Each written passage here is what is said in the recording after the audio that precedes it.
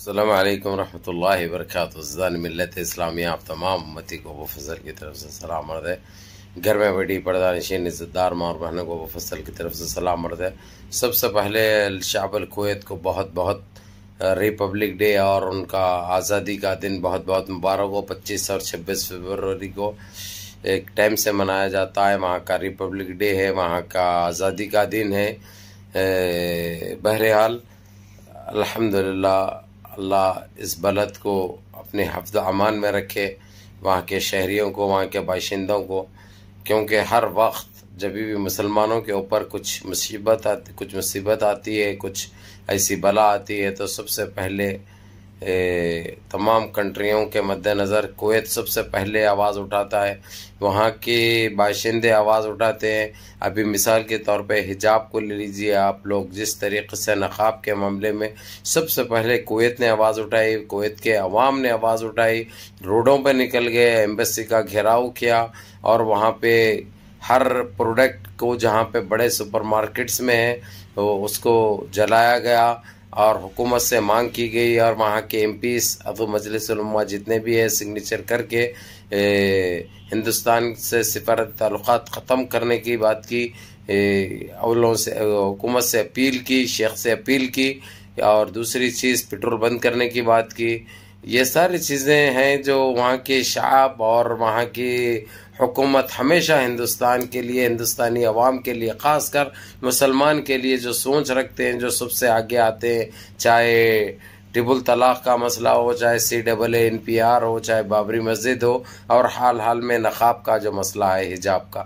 ان سارے چیزوں میں کویت نے ہمیشہ ہم ہندوستانی مسلمانوں کی مدد کی ہے اور ہمیشہ ہمارے لیے برے وقت پہ سامنے ہمارے کھاندے سے کھاندہ لگا کر ٹھہرائیں۔ اور سارے جی سی سی کو، سارے او آئی سی کو ہمیشہ ایک کیا ہے۔ تو ہم تہ دل سے شکریہ بھی ادا کرتے ہیں اور ساتھ ہی ساتھ، اور یہ خوشی کے موقع پہ ہم اپنا، ہمارے کویت کے اور کویت کی عوام کے، کویت کی حکومت کے مبارکباد پیش کرتے ہیں تہ دل سے اور ہم ساتھ ہیں، الحمدللہ رب العالمین۔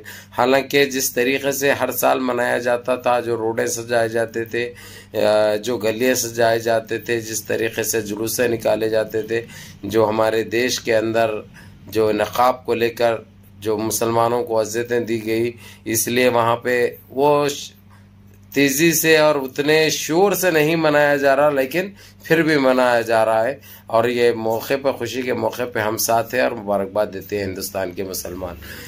بہر الکیف، آپ لوگوں کو یہ بتا دوں میں کہ کویت کے بعد قطر نے بھی قانونی کاروائی چالو کر دی ہے۔ ان کے اوپر آر ایس ایس کے تمام ہوٹلز کو جو آر ایس ایس سے تعلق رکھتے ہیں، جو ہندوس کے ہیں بند کر دینے کا وہ کی ہے وہ لوگوں کو لیٹر دے دیا گیا ہے اور جو دکانیں ہیں، سپر مارکیٹس ہے سونے کے دکانیں ہیں، وہ سارے بند کر کے ملک جانے کے لیے کہہ دیا گیا ہے۔ اس کی وجہ میں بتا دوں، جو ہمارے ساتھ جو عزتیں دی گئی، ہم کو جو جس طریقے سے ہم کو پریشان کیا گیا، ہم کو تنگ کیا گیا، یہ اس کا جواب ان کو مل رہا ہے۔ یہ تو طے ہی تھا، ملنا ہی تھا۔ آج نہیں تو کل کل نہیں تو پرسوں۔ کیونکہ کبھی بھی شیطانوں کی شیطانیت، ملونوں کی ملامت زیادہ دن چلتی نہیں۔ یہ ظالمیں ظلم کرتے رہے۔ ہم نے ہمیشہ برداشت کیا، ہمیشہ صبر کیا اور اللہ کو پکارتے رہے، اللہ سے رجوع ہوتے رہے۔ اور الحمدللہ رب العالمین، اللہ سبحانہ تعالیٰ و کائنات کے مالک نے اب ان کے منہ پہ ایک تماچا رسید کیا۔ وہ تماچے کی، کا زور ان کو برداشت نہیں ہو رہا۔ اور یہ وہ فالتو باتیں کر رہے ہیں، یوکرین اور رشیا کے جنگ کی باتیں کر رہے ہیں یہ لوگ۔ جبکہ ان کے ساتھ کیا ہو رہا ہے، باہر کے ممالک کیا پیش آ رہے ہیں، کیا کر رہے ہیں؟ گودی میڈیا یہ بتانے سے خاصر ہے، نہ گودی میڈیا کبھی منہ کھولے گی۔ جب پوری طریقے سے ان کو پیٹرول بند کیا جائے گا، ان کے ہر وہ چیز پہ پابندی عائد کی جائے گی۔ ابھی پتہ ہے آپ لوگوں کو جی سی سی کے آدھے ممالک تو ہندوس کے ویزے بھی بند کر چکے ہیں۔ ہندوس کے ویزے بھی بند کر چکے ہیں، یہ سب ان کی کرنی ہے ان کے سامنے آ رہی۔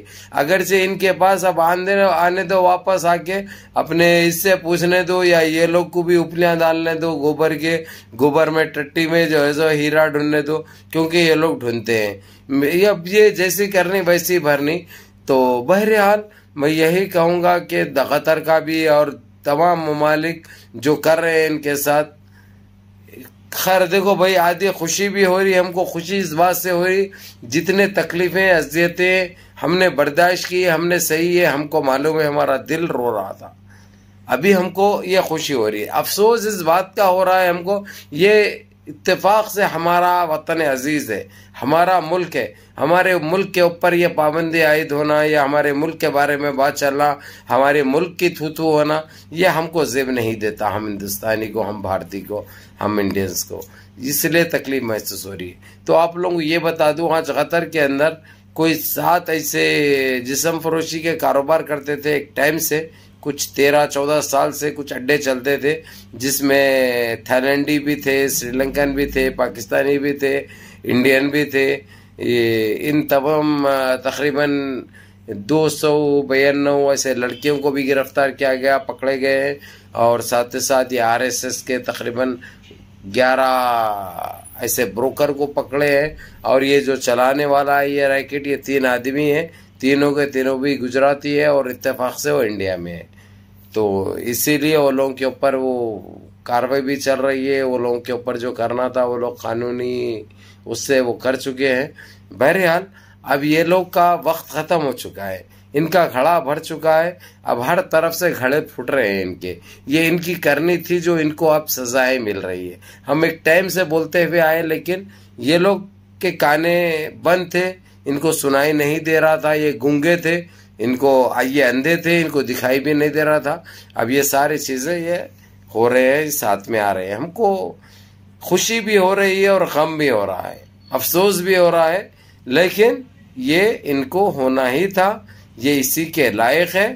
بہر الکیف، میں آپ لوگوں کو یہ بتا دینا ضروری تھا، اس لیے آپ لوگوں کو بتا دیا۔ اور وہاں کے شاپ کو جو ایک ٹائم سے ہمارے ساتھ ہے ہم مسلمانوں کے ساتھ ہے ان کو مبارکباد پیش کرنی تھی۔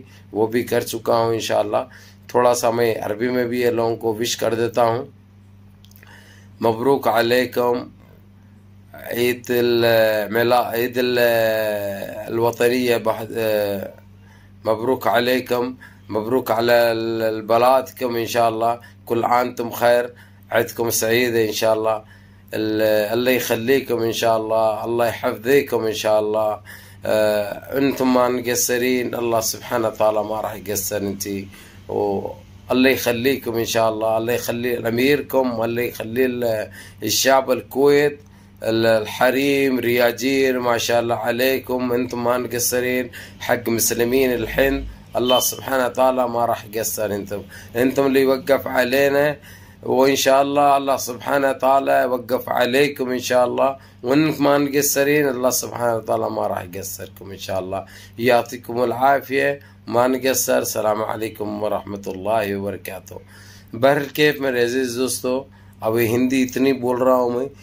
عربی بھی بات کر رہا ہوں تو ہندی میں نکل جا رہا معلوم۔ یہ حالت ہو گئی ہماری ہندی بول بول کے۔ بہرحال نمازوں کی پابندی کرو، ماں باپ کی خدمت کرو اور اپنے بڑوں کے احکام پہ عمل کرو۔ سارے مل جل کے رہو، منظم رہو، متحد رہو۔ انشاءاللہ تعالی، اللہ سبحانہ تعالی ہمارے ساتھ ہے۔ ان کی درندوں کی درندگی ہم کو کچھ نہیں کرے گی، انشاءاللہ۔ اللہ ہمارے ساتھ رہیں گے، انشاءاللہ۔